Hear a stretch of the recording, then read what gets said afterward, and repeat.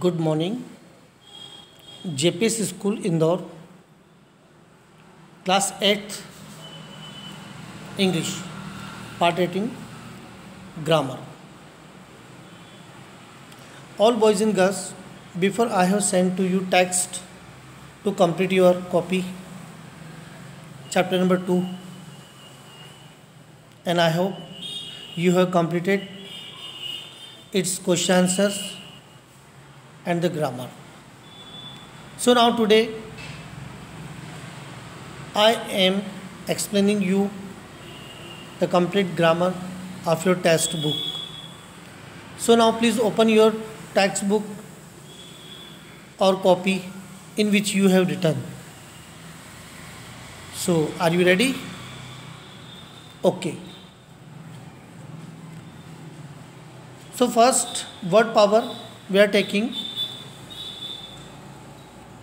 you can see right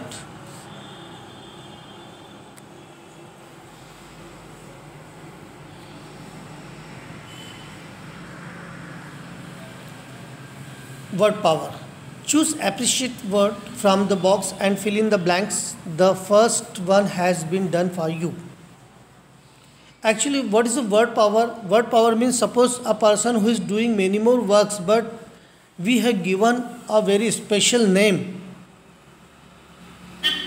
and everybody knows its name very well ki what work is doing by that person it's a word power right तो बच्चों शब्दों की जो power होती है you know about it जब कुछ लोग ऐसे जो अपने प्रोफेशनल्स में व्यवस्थित रूप से काम करते हैं और उन्हें सभी लोग जानते हैं अच्छे से उनका एक नाम ही काफ़ी होता है जिससे हम समझ जाते हैं कि वो क्या काम करते हैं एक्चुअली यहाँ पे इन्होंने हमको फर्स्ट टू फाइव ऐसे ही वर्ड पावर दी है जिसे हमें फील करना है फर्स्ट इन्होंने हमको फील करके दिया है one who flies an aeroplane is called जो हवाई जहाज उड़ाता है naturally we know the name of that person pilot second one the doctor who takes care of your teeth is called the person who is take care of your teeth always called a dentist so you will have to feel dentist third number kalpana chawla was a famous who is kalpana chawla so you know about it kalpana chawla is a great astronaut so you will have to feel astronaut number 4 a person who studies and has expert knowledge of one or more natural और physical sciences is a देखिए जो व्यक्ति विज्ञान के ऊपर बहुत मेहनत करता है कड़ी मेहनत करता है वो भविष्य में साइंटिस्ट बनता है जैसे कि हमारे A P J Abdul Kalam right number five the doctor who specialise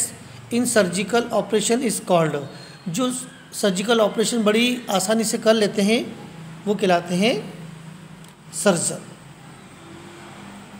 okay so I have you understand the word power the second we are taking B number pick out the odd word and encircle it देखिए अब क्या होता है कुछ ऐसे word कुछ ऐसे लोग जिनका एक ही वर्क हो और उसमें कोई अनादर व्यक्ति आके रुक जाए तो उसका वहाँ पे कोई भी काम नहीं होता है तब उसको यहाँ पे क्या करेंगे पिक आउट कर देंगे जैसे सर्जन डेंटिस्ट एंड फिजिशियन या इलेक्ट्रिशियन का कोई भी काम नहीं अब उसको सर्कल कर दीजिए peon musician author and writer तो यहाँ musician is no work so circle कर दीजिए S L V three Agni apple and moon तो मून का कोई काम नहीं क्योंकि तीनों जो है रॉकेट लॉन्चर हैं जो हमने डेवलप किए थे तो आप मून को सर्कल कर देंगे इंग्लिश मैथमेटिक्स हिंदी संस्कृत ये सब लिटरेचर है मैथमेटिक्स लिटरेचर नहीं आपको उसको मैथमेटिक्स को आपको इन सर्कल करना होगा Mother Teresa Srinivasa Ramanujan C V Raman and Madam Curie यहाँ पे आपको मदर टेरेसा जो है वो जो हमेशा लोगों की मदद करती थी इसलिए मदर टेरेसा का इनके साथ कोई काम नहीं बाकी ये सब साइंटिस्ट लोगों के बारे में कहा गया है सी नंबर देखिएगा pick out the word which do not mean the same as the given word ये भी बिल्कुल वैसे ही मिलेंगे आपको हम्बल हम्बल का मीन्स क्या होता है तो यहाँ पे आपको इसमें से ग्रीड जो है ग्रीडी इसको हटाना होगा हाइडियस में आपको पेटिनियस हटाना पड़ेगा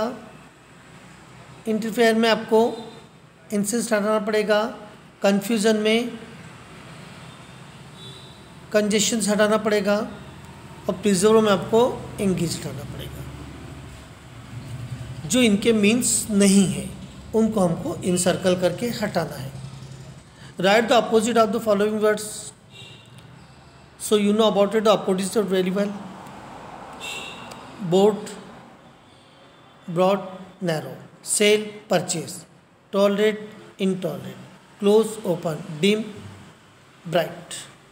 okay and question answer you have completed I know very well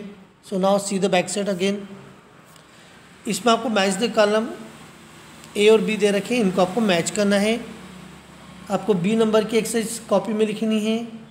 सी लिखनी है डी लिखनी है और इधर से आप देखें क्वेश्चन आंसर्स के बाद बी नंबर की एक्सरसाइज आपको फिर करनी है एंड ट्रू एंड फॉल्स ये भी आपको कंप्लीट करनी है read the following sentence and tick true and false Abdul Kalam comes from a high profile family तो हाई प्रोफाइल फैमिली से नहीं थे false his favourite subject were English mathematics science and Tamil right ये उनके subject थे third Ramandas father was the high priest of Rameswaram temple true सही है Abdul Kalam got the highest award Bharat Ratna in 1997. True. He is our 10th president. False. So, you have understand the text of your lesson number 2. You should do the more and more practice of this and learn so that you can prepare your examination and i hope you will do the hard work and you know all boys and girls english is a very important language and we should do the hard work on particular this language now at present you are younger so the atmosphere of in your area particular nobody is able to speak with you so you must try to with your friends and your parents and hope if you will do the hard work on particular this language loudly you can speak so that you can easily speak the hard word because many more new word it is not possible you can speak clearly because you are getting the problem and the same we also get sometimes problem to see the new word so how can we speak it is very simple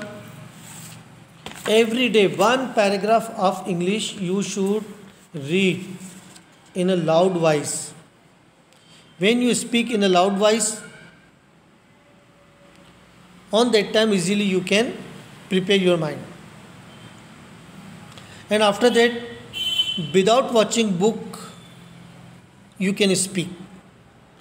small sentences that is important for you you should speak. Before I have taught in your classroom. Self-intra, daily routine and many more I have taught. You know about it very well. So again open your previous year copies and tag that sentences and speak loudly. After some times, easily you can speak. I have full faith on you. So, will you do the hard work? Right. Do the hard work and enjoy to speak English very well. Thanking you.